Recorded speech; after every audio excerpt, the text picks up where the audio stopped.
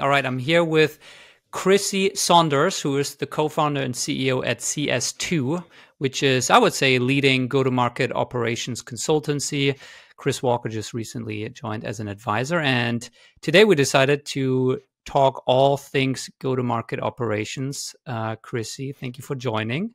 Yeah, thanks for having me. So maybe let's start with definitions.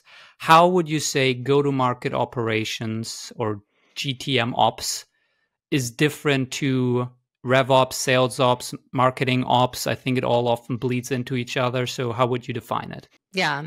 So I chose this topic today, and I think everyone like kind of you know come along this journey. I think for some people who have been a long time listener of like our own podcast or watching CS2, I think we very much have shied away in more recent years of kind of like identifying ourselves with like a certain group, like marketing ops, rev ops, um, anything like that. Mainly because we felt like both of the two of those, or sales ops or anything, just didn't really encapsulate um, kind of what we do for clients very well.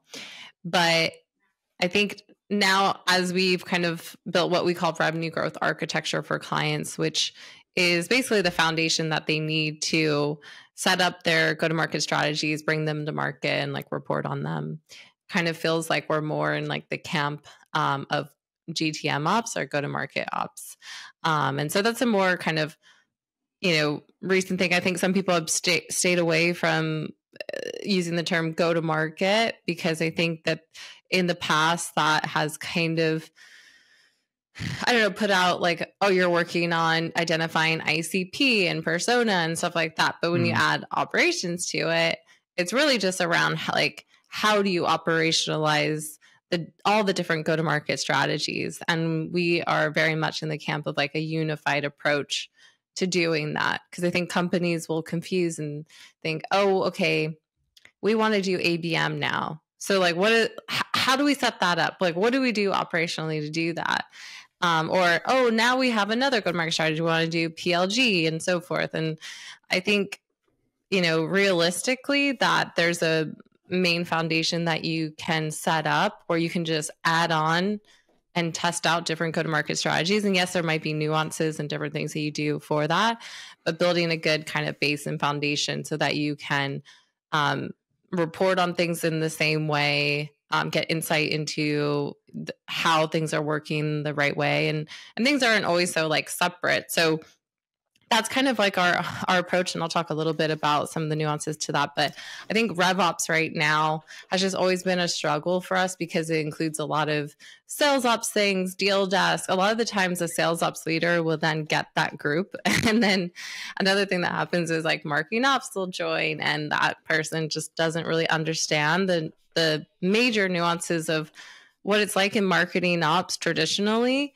um, and then also at the same time, marketing ops has taken on more of the tasks or even expertise that traditionally people would think is more on like the CRM side or, um, you know, on the account side, tracking accounts for target accounts um, like ABM, um, the funnel architecture. So, how leads you know are processed through sales and SDRs and how you report on that and how you know report on your funnel and so forth. So the gamut of like what like a marketing ops person, at least a good one does, has expanded. It, you know, mm-hmm. it's not just like the campaigns and setting up campaigns and execution or your market automation platform, but then RevOps is still kind of um, a bit more focus on maybe more of the traditional sales ops forecasting um, purchase order cpq all that which uh, to to us is not go to market operations. It's more like finance operations or more traditional sales operations and so forth. So yeah that's where i think is the difference. And i, I have seen some folks actually recently use go to market ops as well which is a good sign but you should own it. um but yeah. You need to own it. Yeah. Um so one this is a super qu- stupid question and i'm sure to someone like you who who's been in this space for a long time you'll roll your eyes but i feel like it's my job also to kind of ask stupid questions. So when i hear rev ops marketing ops go to market ops in my head what i'm thinking of not being in this space let's say or doing it is uh, you connecting a bunch of tools with zapier you know like you're you're making sure that when a lead books a call on the website it then gets automatically added to the crm and then it triggers some notification here that sends a marketing automated email and like you're connecting all of these things and you're helping automate certain workflows and that's what ops is. What how wrong am i? Um i would say that you're like maybe partially right where you're describing maybe about 5% of okay. what's included in the in go to market ops so but i do think you're describing a, a, part of like the foundation traditionally recently we've called like that foundation revenue growth architecture and mainly because there's a lot of processes in place that like you just need out the bat and it usually is surrounded around like what people call like an inbound. Motion mm-hmm. or your you know demand gen or demand creation um eh, kind of like that whole buyer journey as someone gets connected to you and yeah sometimes that would be kind of using a tool like zapier or you know some automations within your market automation mm-hmm. platform or whatnot to ensure that that lead per se then gets you know routed properly, you're alerting sales, you're only sending the ones that are actually in ICP and the right fit and ha- are ready to talk to sales over to sales. And that's all very much a, a big part of it.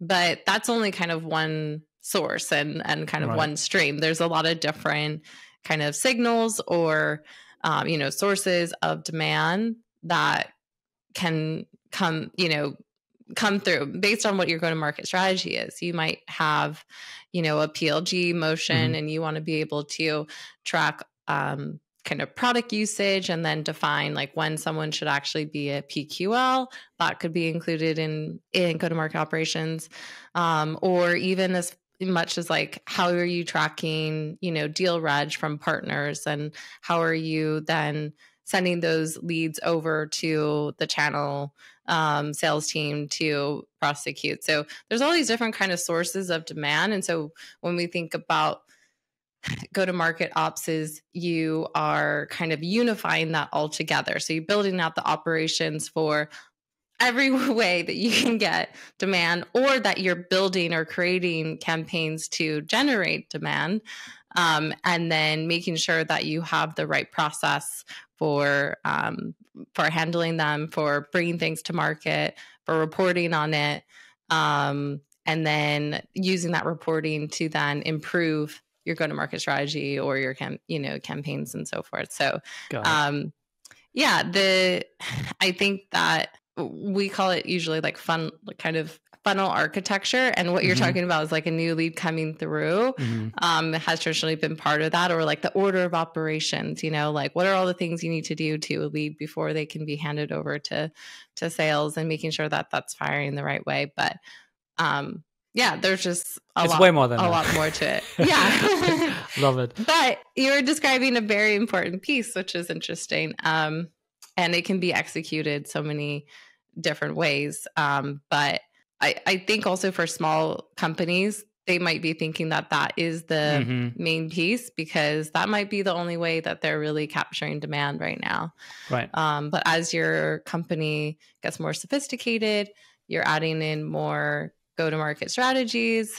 Um, then it becomes a lot more um, that you need to manage. And so we usually work with companies who are like Series C to all the way like post um, IPO, Got as it. they're in this like kind of embarking on sophisticating their operations and need to ensure that they're able to report on on and manage and set up the right process for all all of it. Got it. Th- what, what do they call it in like development? There's like technical debt or something. Tech so debt, yeah. Mm-hmm. There's probably lots of like ops debt or like go to market ops debt where they've like stuck together a bunch of tools yes. and like and now it's like holy shit now that we have so many people and we're onboarding people and all of that it's like no one really understands how this machine works anymore and we need to bring some structure and order and and uh you know orchestration into this monster that we've built. Yes, I think that you are describing probably like the crux of like what most companies um experience, especially early stage companies. I think that companies underestimate and and it's hard, right? If you're an early stage company, you don't have like loads of cash to spend. Like you're also in this experimental phase where maybe you don't want to over process to something yep. because your business might change very rapidly. Um, but we try to trim that down and be like, okay, well, even if you know that you're gonna like do you know plg later or do some type of self-serve or maybe you haven't fully defined your abm strategy because you know you're just bringing to market maybe like one wedge. You're trying to even figure out who your icp is. You can have a certain foundation like your lead prioritization like you're like you're talking about the buyer experience order of operations um, like even your funnel tracking having a process for what happens to um, someone who is now sales ready? And then how do you track that all the way back to pipeline? Those are all things that you can tar- start to set up from day one and do it the right way. But the problem is a lot of companies just see it as we'll get to that one day. Yeah. and then the problem is that they get to that day and then they're like i want to be able to report on all of this hey marketing ops person who just started this week or you know hey team who we've just inundated with so much to do go and do that. And the the fact of the matter is like they will encounter all this tech debt they have to unravel. They will um you know have to spend a lot of time trying to get everyone on the same page of you know how we're going to build this foundation. So we're kind of big fans of taking the approach of focusing on the foundations first. Yes, you don't have to over process like experiments, like say, you know, little things like, oh, oh, we had a client who's like, we want to do customer referrals and had these like ways that we can credit back the client based on if they put in a customer referral. And, you know, I was like, okay, we could do a lot of work to help do that because everything we do is very much around data. But I'm like, why don't you just see how many customer referrals you get. They're a very small company. Right. And they don't have a ton of customers. And unfortunately, they don't have a huge influx of customer referrals yet. So it's like, okay, let's just not build the yeah. tech debt because you might change that program, you know, soon. So um I so, think that it, it takes kind of like knowing what to build now from like the early yeah. stage and what you can not have to build process around like now and build it later. So I know that go to market ops is, you know, we're kind of just defining it, and you guys are leading the way here. But if you would have to, when is it the right time, you think, for a person to bring in a go to market ops person? At what stage? And is this a manager level role? Is this a director level role? And then, yeah. last question to string on to that given that this is not established yet, do you think it's better to bring in a RevOps person, a marketing ops person, and have them grow into that? Or how do you think about the profile of the person that you would, how you would source this person? So I would say that you could take two approaches. You could hire people to do it in house, or you can work with an agency who can be embedded with your company and really figure out what's the right thing. Yep. But having someone internally to be that champion to evangelize like why you're setting up the process. Who can then maybe inherit it too and, and, kind of keep it going. And that usually can be like maybe someone who's more traditionally marketing ops um, is a bit better for that mainly because they understand the marketing strategy. Mm-hmm. and, th- and that's the thing where i think it makes makes sense with go to market ops is you understand like the goals of the revenue team what they're trying to do, how they're trying to um, target their, you know, prospects, what the um, buyer experience should look like, and all of that. Really, it's just really like what's what's good marketing, what's good sales. But you know, it's a it's a it's a group effort. And so a marketing ops person might be good for that. Mm-hmm. I will mm-hmm. say the alternatively, if you're going to hire people in house, I would say a marketing ops person joint with like a rev ops or sales ops person, because sometimes building a lot of this stuff, you need to have the expertise of both. You might need, a, right. you know, someone to manage the, the CRM side of things, be able to enable the sales team. So because it's all about data, like if if you create a sales ready lead or what people call MQL, even if you have like the best process to get that to sales, if they don't know then how to prosecute that? Like how where do i find that lead? Like what do i do with them now? How do i follow up on them? Um, what do i do when i book a meeting? Is that an opportunity at stage zero? And so there's some processes that you need to build on the crm side. So having a kind of a really good sales operate well more like crm uh, admin which i don't like saying sales ops. It's more of like an admin on the crm side can be mm. a really good counterpart. But those two people working very closely together. And I think that is where RevOps came about. People are like, oh, we have these teams that are so disparate from each other. Let's just put them onto one team and call it RevOps. but then the problem is now you just see companies where, oh, what's your RevOps team? Oh, it's just one person and they're on the set like kind of the sales side. They report into a cro or a head of sales. I'm like that's not rev ops that is sales ops basically. But then maybe you're just you know getting them to do more than what they traditionally should do. So um i think that the thing with what rev ops was missing is like the understanding of alignment. And so uh, with go to market operations, I think you still kind of need someone on the CRM side who can help kind of bring the things to fruition. But of course, this depends on the state of the company, but that's what I would say. So I know that you're hesitant to put a stake in the ground, but if you had, let's say you find that person, the go-to-market ops person who can combine those things, mark, marketing ops, and they they they understand the CRM and the sales ops side too. Do you hire yeah. them at a million ARR, at 10 million ARR? You know, at what stage does it make sense to properly give this a role someone who manages internally and sure they can leverage external resources bring you guys in as an expert but someone who owns this internally like at what stage of the revenue growth journey do you see this roughly if you're vc backed i would say like you could make the case to do it as early as possible if you know that you're going to grow so I would, but I think traditionally we think five million ARR like minimum. So like the B like, roughly. Yeah. Yeah. That's where I think you really need to start thinking about it. You could make the case for even earlier. Um, but let, us be honest, like if you have like a million ARR, you're probably more focused on your product. Like, yeah. and that's what I would say too. A lot of um, marketing or sale, you know, revenue team problems sometimes isn't even down to like the process. It might even be how good your product is, what the ICP fit is. And so I would say at that very early stage, you need to be more focused on hiring a really good marketer and also investing more in your product and engineering. Because without a good product, like you could have the best process in the world, but you're likely not going to have customers. You're not going to have happy customers.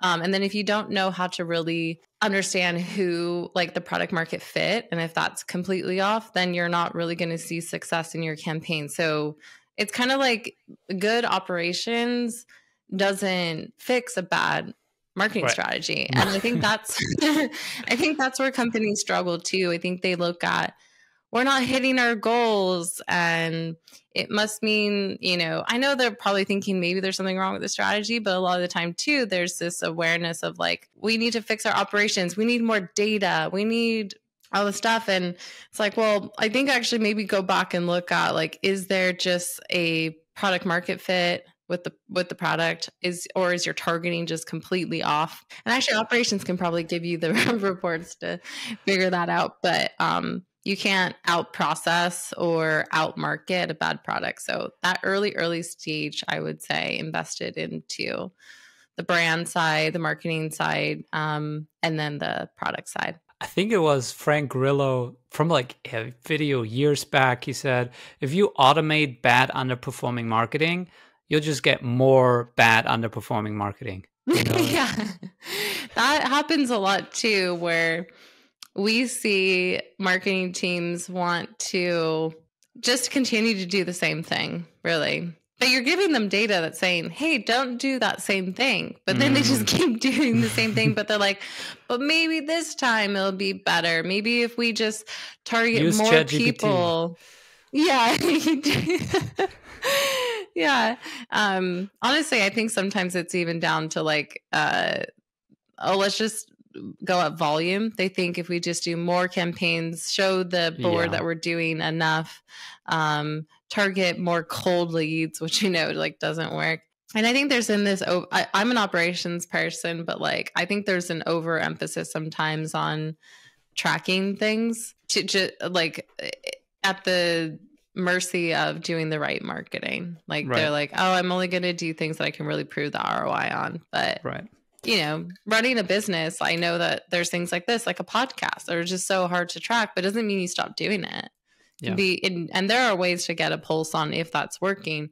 It just might not show up on a dashboard. So that yeah. that's another realization that I think um, people don't quite understand. I think they do they do now a little bit. Um, that's what I think Chris does a really great job. Chris Walker does a really great job of kind of talking about that. Um, so do some other marketers, but I, I think we still have a, a, a, way to pull that back um, and kind of focus on just doing good marketing and totally, then pro- totally. and putting process behind that.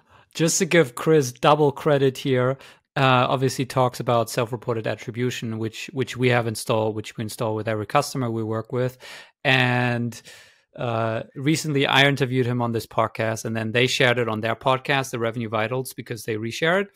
And a CMO listened to it, came inbound, said self-reported attribution, found you through Chris Chris Walker's podcast, became a customer. So you know it it works, and we know for sure that being featured on Chris's podcast is a good thing you know? Um, 100% and uh, i will double tap on that and we do the same thing at cs2 and we were on chris's podcast recently where he announced our advisory um, in partnership and we got an inbound saying found you or heard about you from the revenue vitals podcast. So there you yeah, go. There you go. Chris driving demand for other people um, when you said you know that uh, there was this new term of revenue ops and there was kind of this hope that it would unify and then it was really turned out to be sales ops in disguise um, yeah. i feel like the same thing kind of happened with like the cro role the chief revenue officer where people were yes. like oh it's gonna like unify and then it's just like no they're just a head of sales like the chief sales right. officer um, and so maybe there's some opportunity for soon to be a chief go to market officer but my question mm-hmm. to you is where do you see the go to um go to market operations person sit within the organization? Are they a director? Are they a VP? Are they at the C level?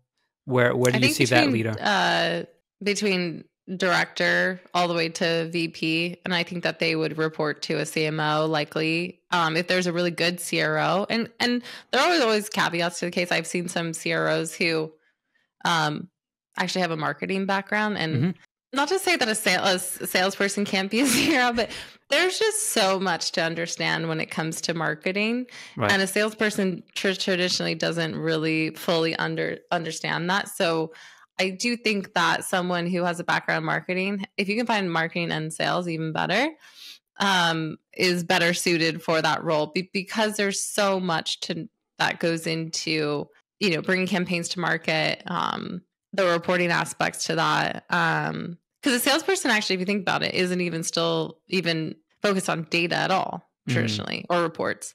They're not like they're not literate in that. They just right. look at what's my forecast, what's my team telling me that's their commit. Maybe they have some people create reports for them to track that. That's like pretty much, you know, it. They, they're better at understanding how to get a deal done.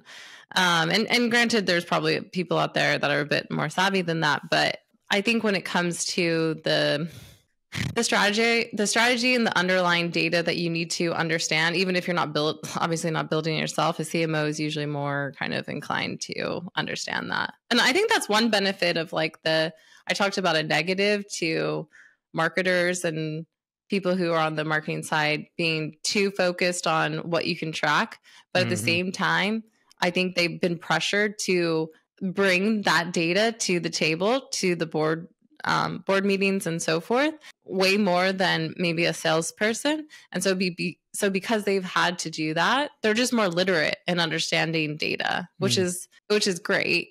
Or they know how to kind of tie those things together or create a narrative or understand that you need to qu- quickly change you know fail fast and and and things like that and and how to actually show improvement. And so that's what I think a revenue team has to do collectively. Um, so a CRO, I feel like maybe a CMO moving into that might be a bit better. So in five years, we'll have a VP of GTM Ops reporting into the CMO. Um, yeah. do you have any sense of why? I mean, marketing and sales have always, or it seems like traditionally, been separate. And it seems like in recent conversation, part of it is go to market ops. You guys see that. And I think Chris Walker talks about, you know, go to market strategy that that mm-hmm. should sit above do you have any sense why now this conversation is happening that instead of saying no there's marketing and then there's sales and they're separate and we keep them separate they're two departments we're now having these conversations about unifying them and it's all really go to market and they should both sit underneath go to market like why now? Do you have any sense? I think there's been a long enough time where people have realized that a, a, a big part of the issues that revenue teams face is like a lack of alignment and that's creating like a horrible buyer experience. And i think before mm. like in the heyday i would say um you know prior to you know last year you know i think 2023 was a turning point for a lot of businesses especially in tech and they couldn't just like lean on their laurels anymore. There wasn't just this focus on you know net new client acquisition because it's hard you know companies are cutting their budgets and so there was a big focus on your customers. I think that that also uncovered the like issues that people already knew were there between the alignment between sales and marketing and marketing was doing their thing tracking mqls only you know maybe they were being measured on that and gold on that and then they sent them over to sales sales doesn't hit their goal, but marketing it does. Right. But or maybe sales does hit their goal, but it's because they, you know, source their own deals. Yeah, and they could have probably and they probably had a bad conversion rate from like net new meeting to like closed customer, but it was enough to kind of keep them growing because they had uh, more demand probably than they needed or they had the teams big enough to to prosecute that, or is the only goal that their board was actually getting them to report on. Um, but when you are struggling, you're always going to feel those like breaking points, the leakage. You can't have any revenue or pipeline leakage when you uh, have, you know, when you're struggling. And also, you need to show success in order to get more money. And the scrutiny around getting money to continue growth from venture capitalists is a margin like it's like 10% of what like traditionally was in like mm-hmm. past years i think i saw a report so so yeah and then so i think that because of that i think there's now this more this focus on okay well let's take a more standardized uh, let's take a more like unified approach i think also too they there's just this um when you have like less resources, smaller teams, especially on the marketing ops side, which we or marketing ops, sales ops, revenue ops, any operations teams have always been traditionally understaffed. And so for me, I think a big a big selling point for unifying operations um, or the go to market operations and having a foundation there that you can track all of your uh, go to market stra- strategies effectively makes sense because you don't want to just like reinvent the wheel and rebuild things just for one strategy. That takes a lot of resources to manage, right? Um, which pe- companies don't have. Um, and in some ways, it might simplify things too. Um, when you're getting everyone to kind of join together and figure out like the right strategies. So um, this is a good question. I'm having to kind of like think on on yeah, the spot, yeah. but I I would say that that probably is a reason for like why now, but also I think there's a little bit about around like the sophistication of kind of technology and what you can do with it that has also kind of come out of that. And so I think traditionally people who have come through marketing operations, they were like what they were focused on was like a sliver, but as that's expanded and they have to focus on the full kind of lead all the way to close won revenue and even beyond that, that's where it's required market ops people to overlap into kind of what I said. It's not really marketing ops anymore. It's go to market ops. Um, and then also people on maybe rev ops side are having to now think about what's going on on the marketing side or their platforms and how that data is entering CRM and so forth. So I think you can't you can't have them not aligned. You can't have that right. like full picture. You can't just but I think, and then having those silos just created so many issues, even yeah. down to teams pointing fingers at each other. Totally. Oh, you say you're hitting your goal. Well, we're not, you know, yeah. or we should get credit for this pipeline because, you know, it was an outbound motion. But it's like marketing is still you know reaching out to them and and all that really does is it doesn't create a better experience for the buyer doesn't sell create more pipeline and i think there's been enough of that that it needs to change i'll i'll throw in a theory too even though i'm not qualified to have a theory here that i just thought of i think sales seems to have always been easily quantifiable because you know how many conversations you had you know mm-hmm. how many mm-hmm. you closed into customers and you know exactly how much revenue they're generated. Always been easy to see the performance. Marketing seems to have been, I'm reading Ogilvy, the Ogilvy on advertising. There, there was no data. Like if you put in a newsletter ad or a TV ad, there was some data, but you couldn't really track it. So it was a lot more wizardry and common sense of understanding like what psychology might drive someone to maybe reach out but you didn't yeah. have real like real time data like they literally mm-hmm. had to do market research where you you had to put someone next to that billboard on the road and like press a clicker to count how many cars drive by and then you need to make some guess of what the demographic of those people driving by is based on where the road is leading and then you know we we're now able to track all these things in marketing and people were like, oh, we can now do data driven marketing. But then they realized that if you optimize marketing for metrics that marketing cares about, like MQLs that are proxies for revenue, but not really revenue, you get misalignment because marketing figures out how to game the MQL game that don't really turn into revenue. And so now you're realizing, oh, we need to align them a little better and not give marketing a proxy. We need to mm-hmm. tie them directly to revenue and not MQLs or something like that. So you guys have a bird's eye view on go to market operations because you work with a lot of companies and you come in there and you do things. What are some of the more common mistakes or patterns that you see, or maybe low hanging fruit that you often find yourself implementing first because they just have a big impact and they almost always are neglected? Do certain things come to mind here? Yeah. Um, you kind of described a little bit uh, of that at the beginning. You're like, well, it's someone who comes to your forms and says they want to be reach out to sales and um, or contact sales and so forth. That whole like inbound process is usually low hanging fruit because there's usually some inefficiencies there that we find. Like even down to there's people that are requesting to be contacted that they might even have an issue with getting that person over to sales due to like sync errors or between systems like as minute you know minute as that all the way to like their routing's wrong and that person doesn't know or they just don't have a process around it. We always traditionally start what we call like the foundation which is maybe more of like an inbound or demand gen kind of foundation because you can add and layer onto that. So that usually includes um kind of the lead processing like buyer experience um, the uh, like order of operations of how you set the data for that person so they can go through all that properly um, the like sales handoff and routing how they're following up with your leads um, what happens to them after that like do they go to a sales engagement platform blah blah blah. And then the funnel uh, we call it funnel but the way that we track a funnel isn't like so linear. You can actually, so I can say this very quickly. We have some po- past podcasts a lot on this, and I think we talked about it on Chris's podcast. But um, the way that we track like a buyer funnel is using a custom object, but also the way that we track it is that you can enter a funnel at different stages. It might even be a salesperson. Sorry, just a quick question: Does this only sure. apply to PLG or also sales-led motions?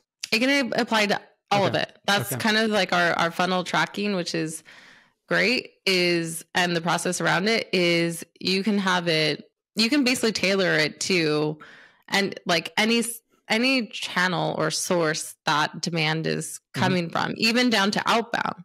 Like mm-hmm. if say that your rep saw there was like a news article about their target account and then they find you know two people people they want to reach out to. They move them into a working status.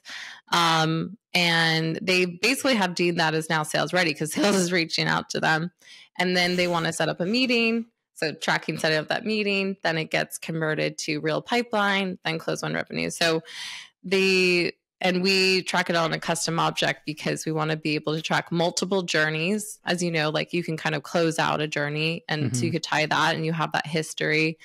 Um, and then also being able to um, account for issues that CRMs traditionally have, especially Salesforce, where those you could have a lead or a contact or existing contact can go into a funnel. And is this literally like a funnel view? Like, it, where does this sit? Does this sit in HubSpot and Salesforce, a custom tool? It'll sit in Salesforce traditionally uh-huh. for our clients. You could probably build something similar in um, HubSpot, but we have um, pretty much 100% of our clients use Salesforce. So I will caveat that. Um, but it is an unmanaged package that we build, and then it creates a custom object that's tied to a lead and contact.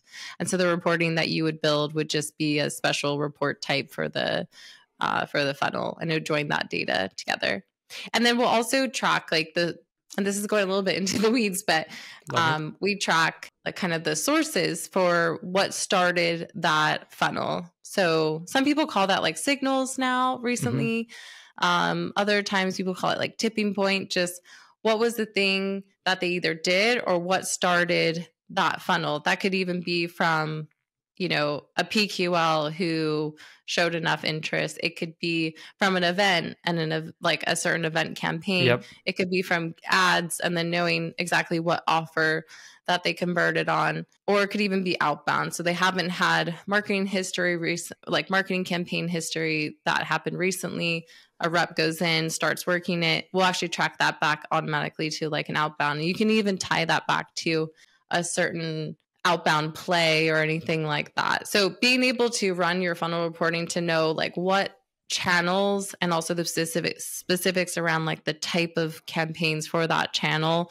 that started those funnels and what which one are actually converting to meetings and then to pipeline to close won revenue that's what we'll set up for clients. And that data will help with revenue planning because you actually, like you said, MQLs have traditionally been a proxy, but it's only been that because they weren't able to really well like tie that back to revenue but mm. when you mm. can you can actually create a better goal for a sales ready lead or mql we call it sales ready because it doesn't always just come from marketing that's the difference for us too you can start a funnel even if it doesn't like score up it could start right when a salesperson starts working it, or even if a something goes straight to opportunity. So a partner sends you over an opportunity, you yep. still want to track um, a funnel for that. So um, that's a different to us. We think of it as like a unified um, funnel architecture um, as far as our unified go to market um, architecture. But with that tracking, um, it will account for everything. And that's the big issue that I think other marketing teams have done too, where it's been a bit confusing, where it only started at like MQL and an MQL was just deemed as, you know, based on what behavior they've had. But you're missing out on so many other ways right. that people can enter your funnel and then you're missing out on those are different go to market strategies an outbound or abm strategy doesn't always just start with an mql you might have your teams you know doing some abm plays this would still track that plg the same way um, partner where you're maybe getting opportunities directly this uh, same way that might not be tracked. And so with this approach of way we set up the measurement you can get insight into all those different sources or signals or whatnot. So basically sounds like the one lead handoff or like handoff to sales like how do leads being handed off to sales streamlining that and making sure there's no leakage um, how do people enter your ecosystem and making sure that that's easy for people and then building this whole funnel view that mm-hmm. includes inbound outbound all kinds of pipeline sources so that people can make good decisions and actually have all the data in one place that is not suddenly you know you, you can actually make data informed decisions yeah and i think traditionally goals have been set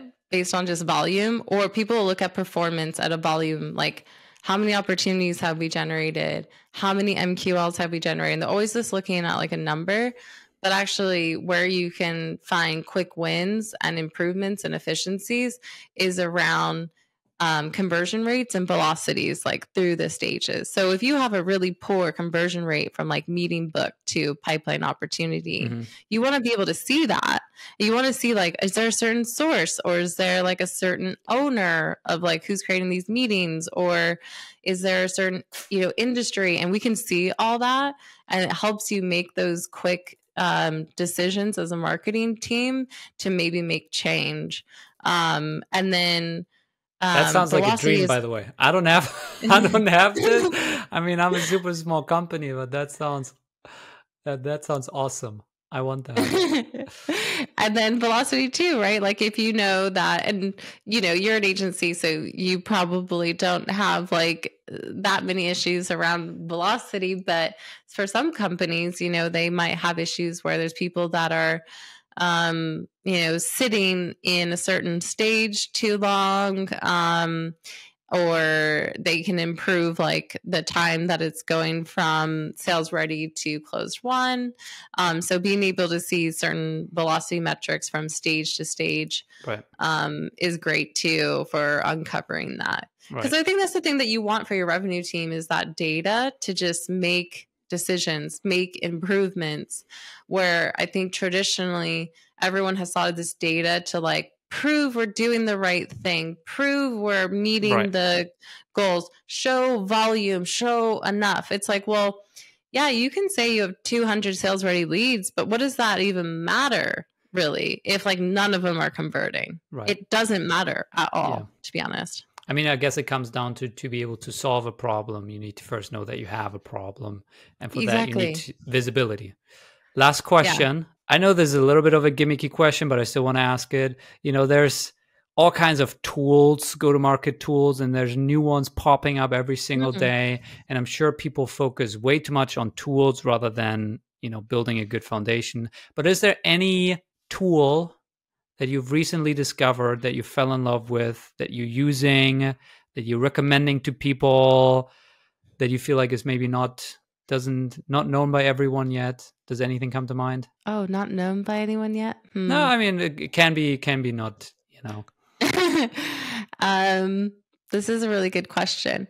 I i will say that there are some that are on my radar that I haven't even used yet, but I'm okay. very interested in seeing. Tell me, what's that short list? Um, so there's one called Clay. Yep, it's on my short list too. it's on your show, okay.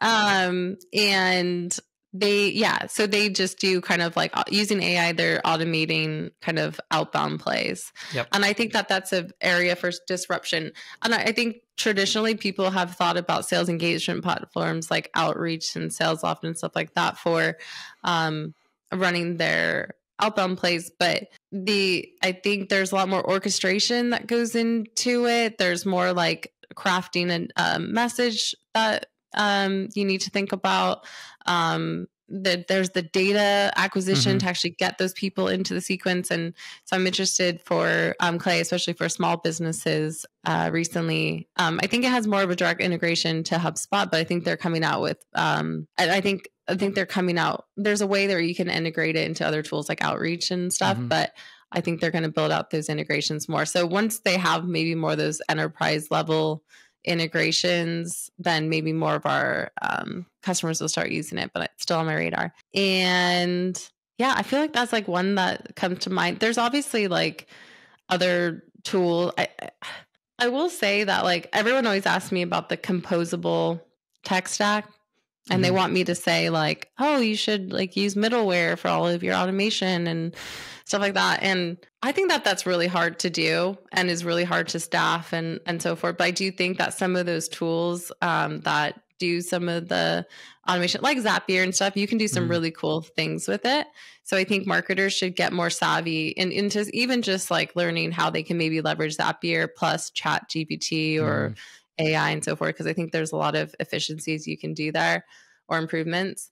But I still think like HubSpot is actually doing a better job at targeting the enterprise, although I'm interested to see if they get bought by Google and if that mm-hmm. like continues. But so, but I think having a platform there, um, I think I'm also interested to see what comes out of like new market automation platforms and leveraging AI. So this is less around like what we're using now, but more of kind of where I'm So none of these are recommendations. All of them are what you're seeing in the market and what you're interested in. Yeah, but I, then that's my recommendation to marketers actually is there's the traditional tools and I think there's a lot of really great ones that are good for B2B companies. Um, but I, I think now where I'm interested is trying to figure out some of these um, new tools that are leveraging AI or how you can incorporate more AI into the business process that um, seems interesting. And I, it's taken me a while to get to that point because I'm very, always very skeptical, and I think mm-hmm. we still need to be skeptical of it.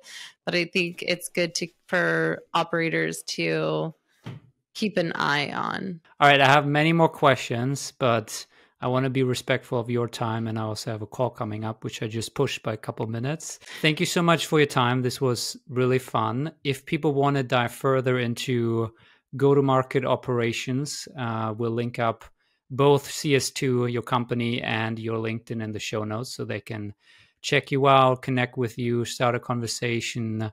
Maybe uh, soon you'll need to update all of your messaging around GTM ops. um, but Crissy, thank you so much for your time. This was fun. Yeah, thank you. I really enjoyed it.